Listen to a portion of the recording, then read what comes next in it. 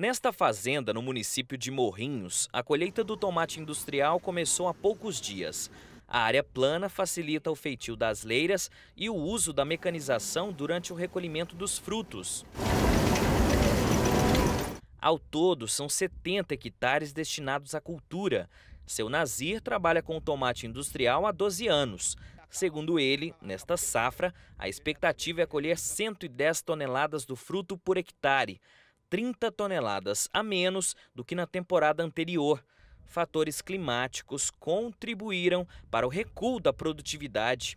Muitas vezes você tem uma variedade menos produtiva, é, às vezes a, o próprio tempo, o calor em excesso, igual está, ele deixa a, a planta mais estressada e automaticamente o fruto cresce menos.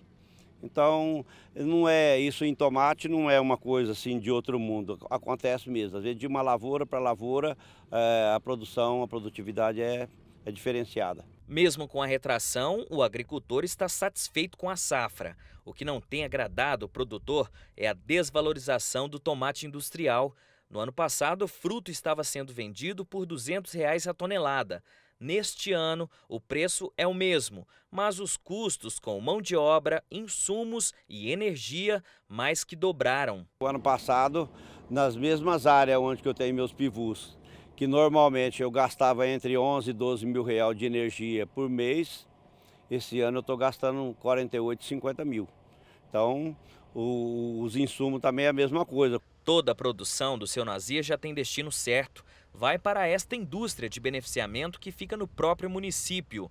O local absorve grande parte do tomate produzido na região para a produção de extrato, polpa e molhos. O processo começa com a limpeza dos frutos. Feitas três trocas de água ao longo do processo. A primeira água um pouco menos limpa e a última água totalmente, totalmente limpa e tratada. A partir desse momento ele entra numa esteira de seleção, a gente tem alguns profissionais é, tratando de tirar algumas impurezas que porventura possam ter vindo da, do, do campo.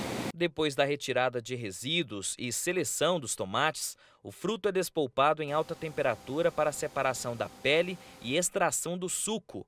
Assim que a polpa atinge a concentração ideal, o produto é pasteurizado e envasado nestes sacos assépticos. Depois de embalada, a polpa é válida por até três anos. Por dia, essa indústria chega a beneficiar até mil toneladas de tomate, que se transforma no produto que está aqui dentro, que é o concentrado do fruto. Para se ter uma ideia, são necessários 7,5 kg de tomate para produzir 1 kg da polpa. Aqui nós temos um consumo próprio para a gente fabricar os nossos produtos e temos também o produto que a gente faz para venda. O extrato de tomate ele com duas gramaturas e temos sete tipos de molho de tomate também.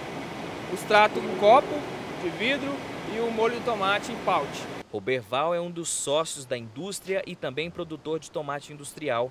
De acordo com ele, a safra deve ser concluída até o final de outubro. Diante de bons rendimentos, o que tem preocupado os agricultores é a comercialização do produto. Esse ano vai indo muito bem, a produtividade foram boas uh, e a gente acredita que também, com o decorrer do, da, da agricultura, da lavoura, é, esse ano vai ser um ano bem, bem bom para a gente. Bom para o produtor e bom para a indústria também. Tá? E o preço está compensando para ambas as partes? É, o preço, na verdade, é o seguinte, nós estamos numa recessão aí, então, como você pode ver aí, nós estamos com muito produto uh, no estoque. A gente está esperando aí virar o ano para ver se a gente decola melhor a comercialização, que hoje não está, não está muito boa não.